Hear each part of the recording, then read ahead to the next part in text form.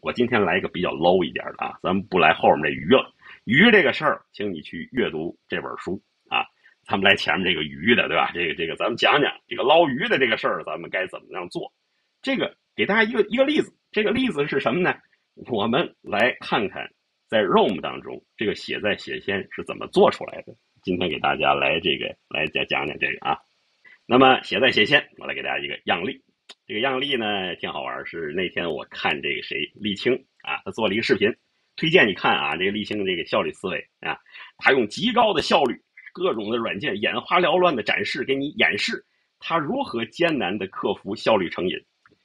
我是没看出来他能克服效率成瘾，因为他这个这效率太高了，对吧？这个这个，呃，可能对他来说这已经是戒断效率了。但是对咱们普通人来看，我的天哪，这个效率，各种快捷键绝对让你这个头晕目眩、眼花缭乱啊！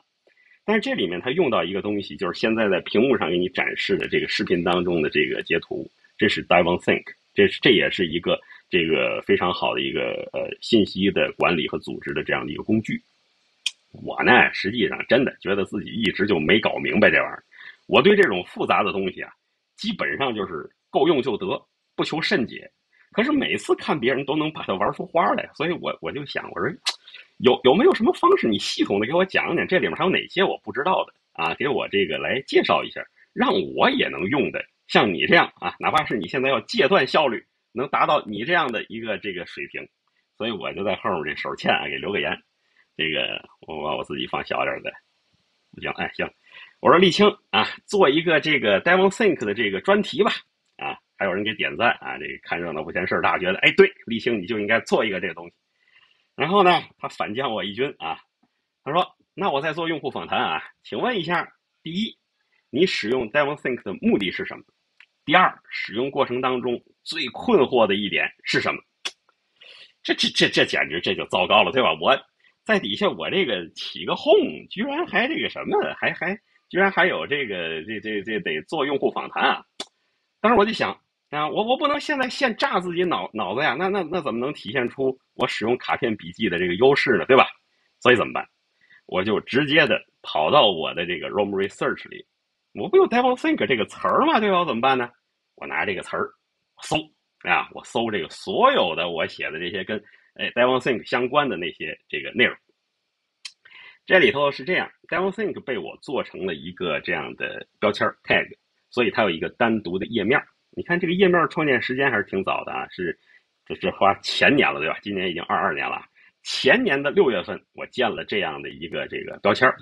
但是实际上，当时我看啊，这个 linked reference 就是跟它已经发生关联的不多，更多的是什么 unlinked reference，就是这些没有发生相关的，就是说这些呃句子，然后这些章节、这些片段里面都有 devon think 这样的词儿，但是我没有进行这种显示的和这个 tag 发生的这个链接。好，那我当时当时没有八十六个啊，我就自己去把它这个浏览了一遍。大家注意，这是一个什么过程？这是一个我们叫做整理的过程，就是因为我们如果说每写一条笔记，你后面紧跟着都要做一次加工，然后给它这个上标签，是很多人会告诉你怎么做，对吧？但是咱说实在的啊，咱咱咱说句心里话，谁能真正的做到啊？你你做到，我佩服你，对吧？我是做不到，我是做不到。这个我我我是个懒人啊，所以。平时就是什么呢？我写的时候，我想起来我打标签我就打，想不起来我就不打。所以这里面大部分的它和这个词之间就是我包含这个词，所以我全文检索的结果叫做 random access，就是它是一种随机关联。什么意思呢？因为有这个词儿，所以我认为它有关。但是它有多有关，或者因为什么有关，这里没有。那么什么东西是我整理后的结果？我要把它达到一种 cognitive access。就是我在认知上主动的认为这两个东西相关，或者是我能把它和我当前的某一个、某几个这样的主题聚落发生关联。所以你把一些东西加上 link，把它从这个哎，就是没有这种链接的，放到这种有链接关系里，就是一个非常显著的整理过程。整理之后，就是现在刚才给你看到的啊，这八十六个 linked reference，是我觉得哎。这些确实在谈我使用 Devon Think 的体会，我可以给它上面加一些啊，例如说再加一个标签儿，对吧？Experience 或者什么东西，用中文也行，中文也行啊。然后有了这些之后，我再做的一件事儿，我就是去看这些 linked reference，就是都有哪些和它这个现在我手动的建立关联，而这些东西实际上可以说就是我们后面这个素材的备选了，素材的备选了。然后我们又听说一个事儿，就是也是这个，呃，深刻他说的啊，这个我们得自底向上的来写。但实际上，我对这个是有一个补充的，自底向上写什么？有的人说我写一个总结的这样的词，然后我在后面把这些材料把它支撑起来，不够，不够。Rome Entangle 的那门课里面，Jamie 实际上他说过这个问题，应该写什么？写问题，写问题，啊，就是我们组织的时候，不要用一个这样的一个标题去组织。因为标题去组织，你还是不知道这个东西我真真正那个逻辑结构是什么样子，所以怎么办？你用一个问题来写，然后我再给你来演示一下怎么来写问题啊！咱今天全都是这个比较 low 的啊，比较 low 的啊，咱今天不是这个形而上，咱今儿全形而下啊。那么在这里我就在想一个问题：立青不问我吗？拿它来干什么？我就想，那从哪开始讲呢？呀，汤要虞舜，对吧？那先怎么办呢？先讲。我是怎么样下定决心？很贵的一个软件，对吧？虽然买了，我也这个用的不太好，但是毕竟我在用，而且这个当时这这也交了钱了，对吧？然后怎么办？我就首先先来列这么样的一个问题：我是怎么样决定购买 DevonThink 的？然后我在我的这右侧开启所有的这些，你可以看到一系列的这种这个材料嘛，linked reference，然后在里面找到，哎。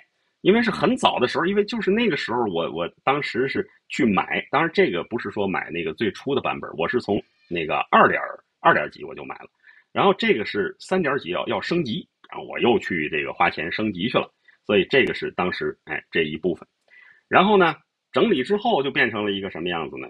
这上面哎这个你看哎包括当时哎教育优惠，然后购买的时候教育优惠怎么怎么样这些东西。然后在下面我又问一个，有没有什么教程？我现在找人家沥青要教程，对吧？那之前我有没有接触到一些什么样的教程？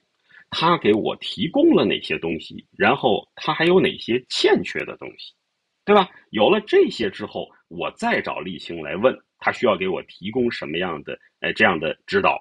那么这个我觉得有的放矢，所以我在这里面又去找呀这个相关的这些内容，然后在这里把它这个进行这种。哎，拖动也把它这个拖进来，嗯，再再放一下。刚才这个拖动可能这个过程大家没有看清楚，对吧？这是 Devil Think 的书啊，然后把它拖动到这里，那那么这个问题就有，有了一系列的问题，你再去组织的时候，那这个东西逻辑上你自己看的就更加清晰了，对吧？